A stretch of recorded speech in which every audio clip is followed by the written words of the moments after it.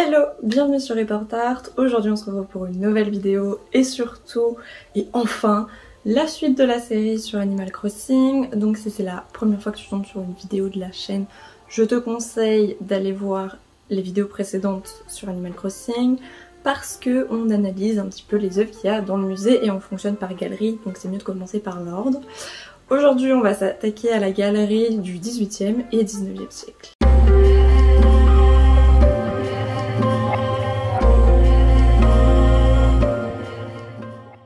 Après s'être baladé dans la galerie de la Renaissance, quand on arrive vers la galerie 18e, 19e, on est accueilli par une sculpture un peu particulière. Évidemment, comme d'habitude, je te mets les images du jeu pour avoir le cartel du jeu et après on parle de l'œuvre. Cette œuvre, c'est une sculpture de Thomas Ridgway Gould, le roi Kamehameha Ier vers 1883 et c'est un bronze.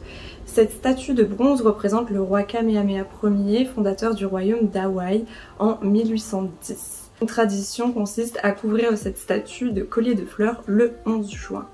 Alors effectivement, je t'ai dit que c'était la galerie 18e, 19e, mais on est tout de suite accueilli par une œuvre du 19e. Et euh, cette statue, il faut savoir avant tout que je n'ai pas trouvé énormément d'informations en bibliothèque ou en ligne, donc j'ai fait ce que je peux et j'espère que ce que je vais te raconter te suffira comme explication pour cette œuvre là. Et pour ça il va falloir que je te fasse un petit cours d'histoire parce qu'effectivement ça peut être peut-être un peu étrange de voir la sculpture d'un roi hawaïen dans ce musée, pourquoi il est là? Étant donné qu'Animal Crossing est un jeu japonais, c'est un petit peu important que je te fasse un petit débrief sur l'histoire du Japon et Hawaï. Il faut savoir qu'après l'époque d'Edo, donc après la fermeture euh, du Japon, quand le Japon réouvre, ils vont avoir pas mal de contacts avec euh, Hawaï. Et Hawaï a même pu être une terre d'immigration en fait pour les Japonais. Il y avait vraiment toute une organisation d'immigration qui était organisée entre les deux États avant du coup que les colons états-uniens n'arrivent et qu'Hawaï perde son indépendance. Du coup, ça fait qu'en fait sur le sol hawaïen, il y a quand même pas mal de Japonais qui vivent encore là-bas de japonais ou de descendants de japonais qui vivent là-bas et du coup euh, Hawaï et le Japon c'est assez normal finalement. Pour ce qui est du roi Kamehameha Ier, il arrive au trône en 1792 et lui va réussir à unifier toute l'archipel parce qu'il faut savoir que bah avant du coup ce n'était pas unifié et que c'est ce qui posait un petit peu problème dans cet archipel. Comme je te l'ai dit, c'est un petit peu tout ce que j'ai pu trouver sur cette œuvre et j'espère que les informations étaient suffisantes. On va du coup remonter un petit peu le temps et euh, enfin voir la première œuvre du 18e siècle de cette galerie. Il s'agit du garçon en bleu ou Blue Boy plus communément de euh, Gainsborough qui est fait en 1770 et c'est une huile sur toile. Gainsborough est célèbre pour son usage innovant des couleurs dans les portraits tels que celui-ci. Même s'il préférait peindre les paysages, ce sont ses portraits qui définissent son style. Or, Gainsborough, c'est un peintre anglais du XVIIIe siècle. Et les chercheurs ont essayé d'identifier qui était ce fameux Blue Boy, mais ça reste encore un mystère. Et finalement, dans cette œuvre, c'est pas ce qui est si important que ça, de savoir qui est ce jeune homme, puisque en fait, c'est...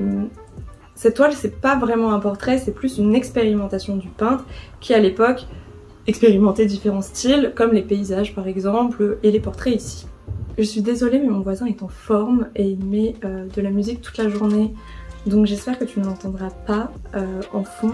Comme tu peux le voir, c'est un enfant euh, qui est habillé d'une tenue bleue et qui a une position où on voit qu'il est quand même assez sûr de lui et au fond tu vois un paysage anglais. Une légende va raconter que ce tableau c'est une réponse à un certain Ryan Reynolds qui n'est autre que le rival de Gainsborough ce Reynolds aurait dit lors d'un cours à la Royal Academy que euh, ce n'était pas possible que les couleurs froides, telles que le bleu, soient les couleurs dominantes dans un tableau. Du coup, Gainsborough aurait fait le Blue Boy en réponse à ce discours pour lui montrer bah, que si c'est possible et qu'en plus on peut être très technique et varier beaucoup euh, les bleus qui n'est pas une seule couleur fixe puisqu'il y a plein de variations dans le bleu et euh, qu'on peut faire quelque chose de fantastique. Par contre, cette anecdote, ça reste une légende parce qu'en fait la chronologie ne correspond pas, ça ne concorde pas. Mais je trouvais ça quand même intéressant de t'en parler. Comme je te l'ai dit, ce tableau il permet quand même de montrer la technicité de Gainsborough et de comment il va varier les bleus. Mais ça va être aussi un hommage à un certain artiste qui s'appelle Van Dyck, qui est un maître ancien euh, des écoles du Nord. Alors, comment on voit ça? Déjà, euh, au niveau de la pose, euh, Gainsborough va directement reprendre le portrait des frères Villiers, et notamment, tu le vois là, ce garçon-là a une pose qui ressemble beaucoup au Blue Boy, mais il va aussi reprendre les vêtements des personnage de Van Dyck. il faut savoir aussi que euh, au XVIIIe siècle, c'est très courant de s'habiller à la Van Dyck, dans le sens où l'élite va porter euh, ses costumes pour se rendre à des balles masquées, mais il peut aussi arriver soient, que leurs portraits soient peints quand ils sont dans ces tenues. Donc c'est quelque chose qui est très tendance, très à la mode. Il faut bien aussi situer que le Blue Boy c'est vraiment une icône du patrimoine britannique, mais malheureusement après la première guerre mondiale, la National Gallery va être dans l'obligation de vendre le Blue Boy parce qu'ils n'ont tout simplement pas assez de fonds pour euh, le conserver et pour le garder. Il sera du coup vendu à un très riche états-unien qui s'appelle Henry Wellington et depuis c'est pour ça que l'œuvre n'est plus euh, en Angleterre mais qu'elle se trouve maintenant aux États-Unis et il faut savoir qu'en 1921 elle est considérée comme l'œuvre la plus célèbre au monde mais aussi la plus chère. Donc voilà pour Gainsborough et cette fois on va passer du côté de l'Espagne avec Goya. Donc ici, on a euh, la Mara vêtue de Francisco de Goya, vers qu'il a faite d'après le jeu vers 1805 et c'est une huile sur toile. Cette toile serait une version chaste d'une œuvre antérieure intitulée La Mara nue. Le succès venu, il était peut-être devenu inconvenant pour Goya d'afficher des œuvres impudiques. Enfin, notons que la Mara du titre désigne une jeune, une jeune femme élégante de Madrid. Alors pour ce qui est du cartel du jeu, on va un petit peu nuancer parce que euh, c'est pas très exact, donc on va apporter des informations pour un petit peu rétablir tout ça. Donc Goya est l'un des pâtres espagnols les plus connus du 19e, du 18e 19e siècle. Là, on a l'impression dans le cartel que la Mara vêtue et la Mara nue sont deux euh, tableaux séparés, mais en fait ils ne font qu'un. C'est un ensemble de tableaux où en première couche, tu vas avoir la mara vêtue, et si tu la soulèves par euh, un fonctionnement de charnière tout simplement, si tu la soulèves, dessous tu as la mara nue, donc c'est comme si tu avais déshabillé la première dame et que tu la retrouves nue en arrière-plan. Pareil euh, pour les datations, je pense que c'est entre 1797 et 1806. La mara vêtue étant euh, peut-être peinte en dernière finalement, euh, donc ça représente une femme semi-allongée sur un ottomane, donc c'est l'espèce de petit canapé euh, sur lequel elle est. Elle lève les bras et regarde directement le spectateur. Pour le détail de ses habits, elle porte un veston de torero, une écharpe nouée à la taille, des escarpins de soie brodés d'or.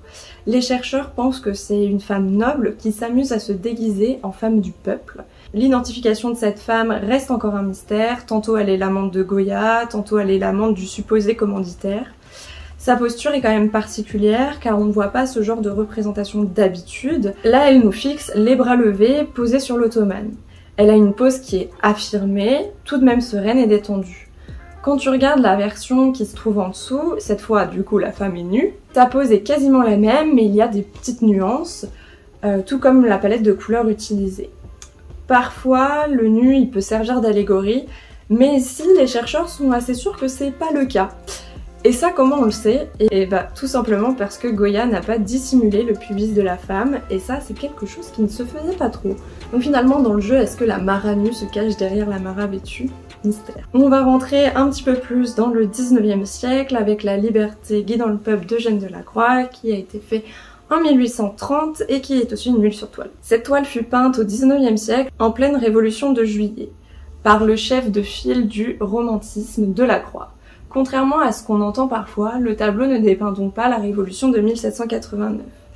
Alors effectivement, elle dépeint pas la, la révolution de 1789, par contre elle est pas peinte en pleine euh, révolution de juillet, puisqu'en fait la monarchie de juillet est, déjà là quand le tableau est peint, la révolution s'est tassée finalement et c'est fini.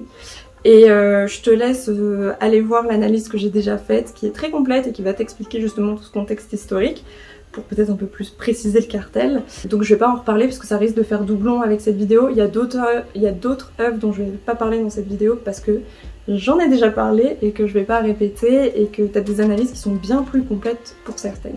Donc on continue euh, et toujours c'est une œuvre dont j'ai déjà parlé qui est Le dernier voyage du téméraire de Turner qui a été réalisé en 1839 et c'est aussi une huile sur toile. Ce célèbre tableau est signé Turner, un maître de la lumière. Elle représente un navire anglais de la flotte de l'amiral Nelson mettant le cap sur le port où il sera démonté. Donc Turner c'est un peintre anglais et c'est vraiment un monument dans l'histoire de l'art et plus particulièrement dans l'histoire de l'art anglais. Et euh, comme je te l'ai dit, il y a une vidéo assez courte qui l'explique, donc euh, si tu veux un format plus court, tu peux aller voir. Et pareil, je vais pas me répéter. Ensuite, on va aller voir une sculpture qui est quand même un petit peu particulière et qui fait un peu tâche, entre guillemets, euh, dans cette galerie 18e-19e. C'est une tête colossale Olmec qui a été sûrement réalisée vers 1000 avant notre ère. C'est du basalte et de l'andésite. Cette tête en pierre géante est probablement l'œuvre de la civilisation mésoaméricaine Olmec. Certaines de ces têtes atteignent 3 mètres de haut. On suppose qu'ils n'ont pas sculpté de corps en proportion. comme je t'ai dit, c'est un petit peu particulier de la trouver ici cette œuvre. En même temps, ils n'ont pas non plus fait euh, de galeries particulières pour euh, les cultures euh, d'Amérique du Sud. Mais c'est quand même un peu surprenant de la trouver là, surtout que pareil, il n'y a aucun tableau qui est en rapport avec ça, donc pourquoi elle est là, c'est un petit peu un mystère. Hein. Mais euh, globalement, je vais quand même te l'expliquer. Les Olmecs, c'est une civilisation qui euh, se trouvait principalement dans le golfe du Mexique. Les vestiges Olmecs s'étendent sur une période de 1200 à 500 avant Jésus-Christ. Aujourd'hui, c'est le site de San Lorenzo qui va nous intéresser puisque c'est ici qu'a été retrouvée cette tête. Euh, sur ce site, tu pouvais trouver euh, les résidences de l'élite, des bâtiments cérémoniels, des habitations classiques, des terrasses agricoles, des hôtels et des statues dont les têtes colossales. Parce que oui, euh, cette tête colossale, elle n'est pas toute seule sur ce site. En fait, elle fait partie d'un groupe de 10 têtes. Elles forment des groupes alignés et elles ont aussi le dos plat, ce qui pourrait indiquer qu'elles étaient à l'origine contre des murs. Dans mes recherches, j'ai pu trouver plusieurs interprétations, donc je vais t'en parler. Au début, elles étaient identifiées comme des portraits de chefs ou de rois. Cependant, il y a d'autres chercheurs qui vont nuancer cette théorie et qui vont expliquer que c'est peut-être des têtes décapitées. Expliquer à l'issue de jeux de balles, l'ennemi se retrouvait décapité. Les chercheurs ont pu trouver une iconographie de victimes sans tête et de têtes trophées, et c'est peut-être le cas ici. Il s'agirait d'une tête trophée, surtout que t'as l'impression que ce visage porte un casque de protection qui aurait pu servir pendant le jeu. De plus, au niveau iconographique, les dirigeants étaient souvent représentés avec des traits félins, euh, qui étaient en fait considérés comme un trait de beauté. Sauf que là, c'est une représentation anthropomorphe qui correspondrait plutôt à l'iconographie d'un ennemi plutôt qu'à un roi ou un ancien dirigeant. Donc ça, c'est un peu les, théories qu'il y a sur ces têtes. Et on va retourner dans le 19e siècle et on retourne en France avec Millet. Jean-François Millet, il va avoir deux œuvres euh, dans cette galerie et on va commencer par le Semeur qui a été fait vers 1850 et encore une fois c'est une huile sur toile. C'est après avoir quitté Paris pour la campagne que Millet peignit ce fermier en train de semer. Cette toile vous fait penser à un Van Gogh, c'est normal, Van Gogh lui-même s'en est inspiré. Pour le point sur Van Gogh, je te mets un comparatif des œuvres et c'est vrai que Van Gogh euh, regardait beaucoup ce que faisait Millet en fait et, a beaucoup pris ses œuvres en tant que ressource. Millet, c'est un artiste français du 19e siècle et euh, ici on a euh, soit la version du Boston Fine Art Museum, soit du Yamanashi Prefectural Museum qui est au Japon. Donc je t'avoue qu'en fait les œuvres se ressemblent extrêmement. La seule nuance c'est qu'il y en a une qui est un peu plus sombre que l'autre. Du coup, je ne sais pas euh, dans laquelle ils ont pris ça. C'est possible que ça soit la version du Japon, étant donné qu'Animal Crossing est un jeu japonais. C'est le motif du summer, c'est un motif qui est récurrent dans son œuvre. Le summer ici, il est massif, il est même monumental et il est poussé par la lumière. Il est dans l'urgence, il doit finir sa tâche avant la fin de la journée. On a une héroïsation de personnes en fait qui ne sont habituellement pas héroïsées. Et c'est ça qui va changer par exemple des peintures d'histoire et euh, de leurs euh, figures antiques ou euh, de toutes ces allégories qui sont censées magnifier une idée, etc. Là, on a vraiment une, une, une héroïsation d'un paysan, chose bah, qui se faisait pas vraiment et c'était pas vraiment des modèles pour ça. Forcément, à son époque, ça va attirer l'attention lors des salons et le but de Millet, c'est de célébrer la beauté et la grandeur du geste paysan. Ensuite, on va voir Les Glaneuses qui date de 1857 et c'est toujours une mise sur toile qui va aussi reprendre un petit peu cette idée. L'œuvre emblématique de Millet, connue pour ses représentations de la vie quotidienne du 19e siècle. On compare les récoltes abondantes à l'arrière-plan et la maigre pitance laissée aux ouvriers. Cette toile constitue ainsi un témoignage d'une ère de grande inégalité sociale. Et c'est vrai que ça c'est un grand thème chez Millet. Donc une nouvelle fois, on se retrouve dans le monde paysan. À l'époque, lors du salon de 1857, l'œuvre elle est très contestée, mais pourquoi? Comme je te l'ai dit pour le semeur, peindre des paysans c'est pas vraiment la norme, mais Millet fait partie d'une tendance qui veut montrer la vraie vie. La toile elle est perçue comme décrivant la misère, la désolation et surtout de contestation sociale. Les paysannes elles ramassent le blé, elles sont trois, courbées vers la terre, concentrées sur leurs tâches, et franchement, on a mal au dos pour elles. Elles n'ont pas de visage aussi, et d'ailleurs dans le titre, ce ne sont pas les glaneuses, mais des glaneuses, pour bien montrer qu'elles sont indéfinies, et ça permet de réfléchir sur l'idée générale de leur situation sociale. Donc ça, c'est pour Millet, et maintenant on va passer à Millet, qui euh, a peint Ophélie en 1852 et encore une fois c'est une huile sur toile. Ophélie est un personnage au destin tragique apparaissant dans la pièce d'Hamlet de William Shakespeare. Elle affiche une expression hors du temps et déjà hors du monde, étendue, inconsciente dans l'eau. Entourée par la beauté d'une nature florissante, elle vogue entre la vie et la mort. Millet, pardon, c'est un artiste anglais. Euh, je te laisse aussi aller voir sur la chaîne l'analyse que j'ai pu faire si tu veux connaître un petit peu plus l'histoire de cette œuvre, mais aussi l'histoire d'Ophélie. Euh, et comme ça, ça m'évitera de me répéter et tu auras une grande analyse bien complète sur cette œuvre.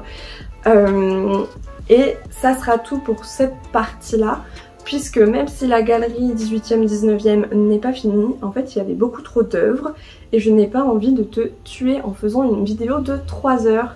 Donc on fera une partie 2 pour la suite de cette galerie là où on verra les autres œuvres. En tout cas c'est tout pour moi, je te retrouve dans une prochaine vidéo, salut